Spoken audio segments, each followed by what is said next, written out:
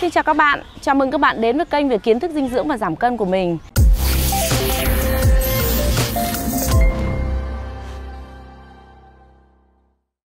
À, hôm nay mình muốn chia sẻ với các bạn một cái chủ đề đó là chúng ta có nên nhịn ăn để giảm cân hay không.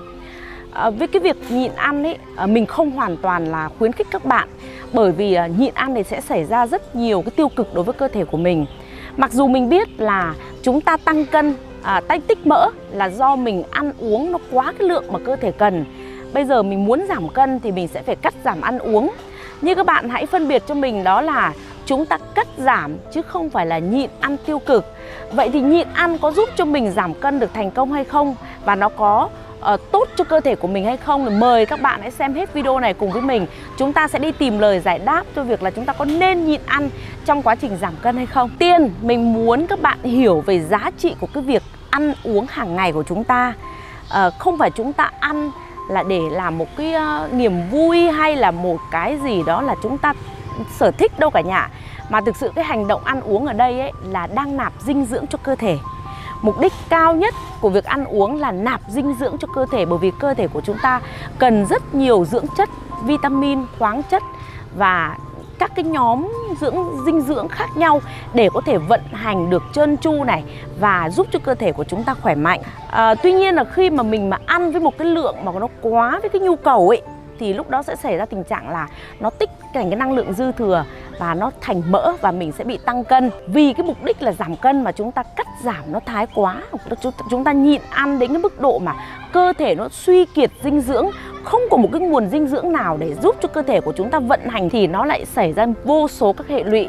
Và trong đó là một cái mục đích chính của là nhịn ăn để giảm cân. Nhưng cuối cùng thì chúng ta lại không thể nào đạt được cái mục đích này. Còn đối với cái quá trình giảm cân ấy, thì các bạn biết không?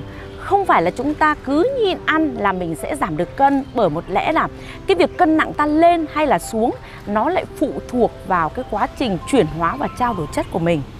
Các bạn có ăn nhiều nhưng mà chuyển hóa của mình tốt ấy, thì các bạn cũng không bao giờ bị tích mỡ. Nhưng mà các bạn ăn ít trong khi chuyển hóa của mình quá kém thì chỉ cần một miếng khoai thôi khi mà mình nạp vào người nó cũng sẽ được dự trữ hết thành mỡ mà nó không có được chuyển đổi năng lượng cái gì cả. Cho nên vấn đề ở đây không phải là chúng ta ăn nhiều hay ăn ít mà mấu chốt chính là trao đổi chất. Vậy cái việc nhịn ăn nó sẽ ảnh hưởng vô cùng lớn đến cái quá trình trao đổi chất đó. Cho nên là uh, mục đích của chúng ta là chúng ta nhịn ăn để giảm cân nhưng mà không hiểu về cái quá trình trao đổi chất đó cho nên cái hành động nhịn ăn này nó lại ảnh hưởng đến trao đổi chất làm cho là cái lúc mà mình nhịn ăn để giảm cân ấy có thể là các bạn giảm được rất nhiều cân các bạn có thể giảm được 5 cân, 10 cân trong vòng một tháng bởi vì thực ra thì năng lượng chúng ta không đưa vào nữa thì cơ thể nó sẽ không còn cái gì để tích trữ và nó mất cơ để mất nước và dẫn đến giảm cân. Tuy nhiên các bạn biết không có một hệ lụy là nếu như mà mình nhịn ăn tiêu cực như vậy và nó ảnh hưởng đến quá trình trao đổi chất ấy thì sau khi mà các bạn không còn trong chiến dịch giảm cân nữa thì mình ăn uống trở lại thì lúc đó cái quá trình trao đổi chất này của mình nó đã quá tồi tệ rồi nó đã quá đi xuống rồi và làm cho mình ấy, uống nước lã hít không khí thôi cũng béo. Tức là cái hiệu ứng là hiệu ứng tăng cân trở lại nhanh chóng. À, như vậy thì các bạn thấy là trong lúc mà mình nhịn ăn thì mình đã rất là khổ cực vất vả rồi. À, đến lúc thấy một chút thành quả và mình uh, tự do mình ăn uống lại thì nó lại tăng cân lên. Vậy thì với quả như vậy thì các bạn có muốn không ạ? Các bạn có muốn là sau khi mà mình giảm cân xong chỉ được có vài ngày đẹp đẽ, rồi mình lại béo phì trở lại mà các bạn phải nên nhớ hộ mình. Nếu như mà để cho trao đổi chất của mình bị thấp xuống ấy, thì nó sẽ xảy ra nhiều hệ lụy bởi vì là không phải là chỉ cái việc mình tăng cân trở lại sau khi kết thúc mà nó sẽ xảy ra các cái căn bệnh về chuyển hóa. Thêm nữa là mình muốn các bạn biết là ở trong cơ thể của mình có ba thứ mà có thể giảm được đó là cơ này mỡ này và nước. Và cái thứ mà chúng ta duy nhất mà chúng ta được đánh đuổi nó đi á làm giảm đi ấy, đó chính là mỡ. Nhưng mà mỡ thì lại cực kỳ cứng đầu. Nó chỉ chịu khuất phục sau khi mà đã mất hết cơ và nước. Và cái hành động của chúng ta nhịn ăn sẽ làm cho cơ thể của mình không còn cái nguồn dinh dưỡng nào để hoạt động cả và bắt đầu nó đi lấy các cái nguồn năng lượng dự trữ trong người của mình. Đầu tiên, nó sẽ lấy nguồn năng lượng từ cơ bắp cơ bắp. Và vì ở trong cơ bắp của chúng ta có rất nhiều protein nên là khi mà mình để cho cơ thể đói năng lượng thì nó sẽ rút dần dinh dưỡng từ trong cơ bắp để nuôi cơ thể. Nếu như để mất cơ bắp như vậy thì cơ thể của chúng ta sẽ rất là yếu ớt. Đó, sau khi mất xong cơ bắp, mất nước xong không còn một cái gì để cho cơ thể vận hành nữa rồi thì lúc đó nó mới đến đốt cái phần mỡ của mình. Vậy thì các bạn thấy là chúng ta giảm cân chỉ trong khoảng độ mình chiến dịch của mình chỉ mọi người chỉ thực hiện khoảng độ 3 đến 4 tháng thôi. Và trong 3 4 tháng đó thì mới chỉ mất được cái phần cơ thôi, chưa đốt đến phần mỡ, chưa hề đốt đến phần mỡ thì chúng ta đã lại ăn lại rồi.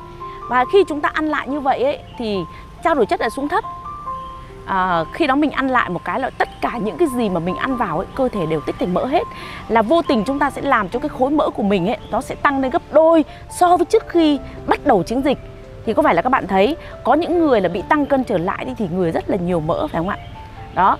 Và cái thứ hai nữa là khi mà mình giảm cân như vậy ấy, mình mất cơ như vậy ấy thì uh, dù cho sau đó các bạn cũng có nhiều người sẽ không tăng cân trở lại chưa tăng cân trở lại ngay nhưng mà người của chúng ta sẽ xảy tình trạng có rất là nhiều mỡ.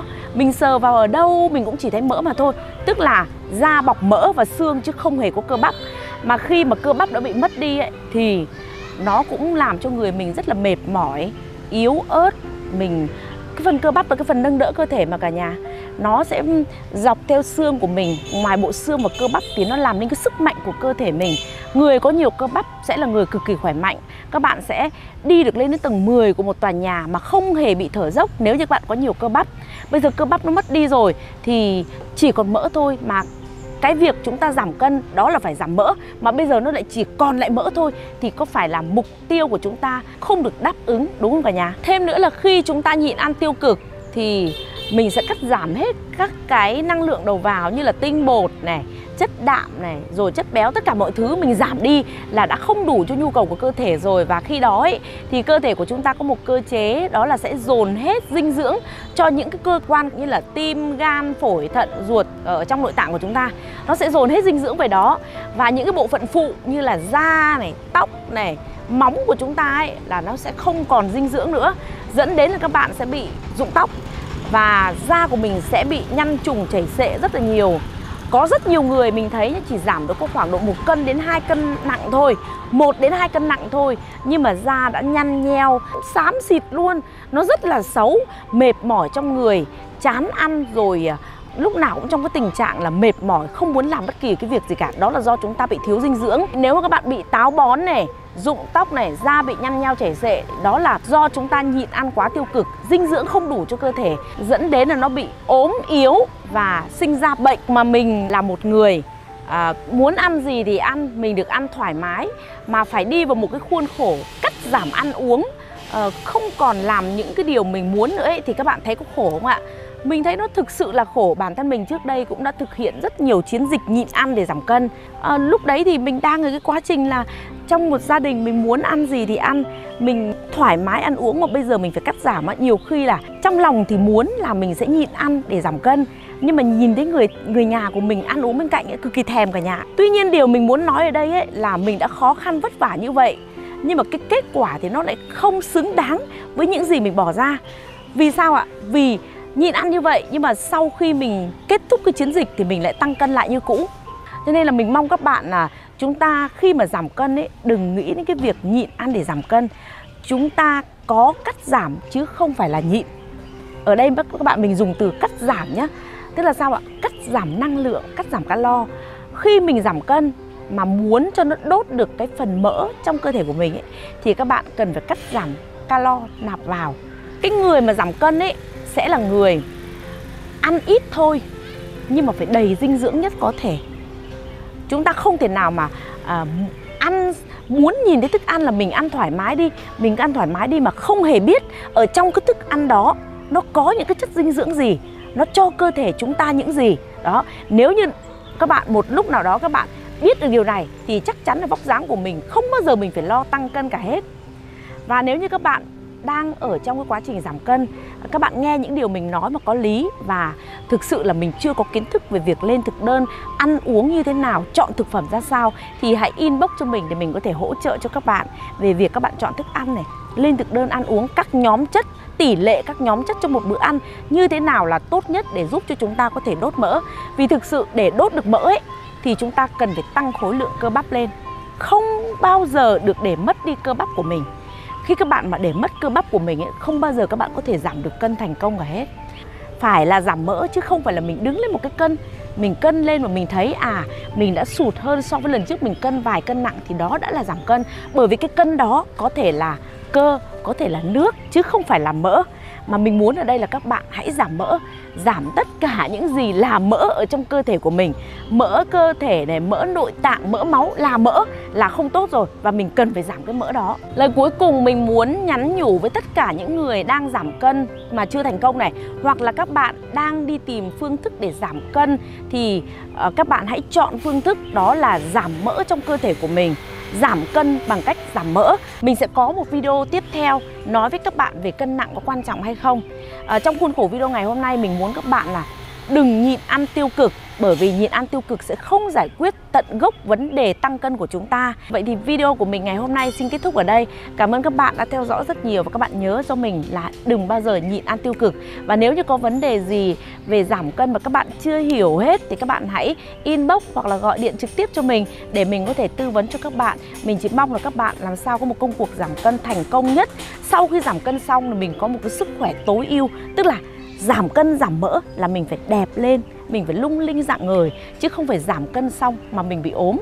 Hẹn gặp lại các bạn trong những video lần sau nhé. À các bạn nhớ đăng ký kênh youtube của mình để nhận thêm những kiến thức về dinh dưỡng cũng như sức khỏe và giảm cân nữa nhé. Hẹn gặp lại các bạn. Chào tạm biệt. Bye bye.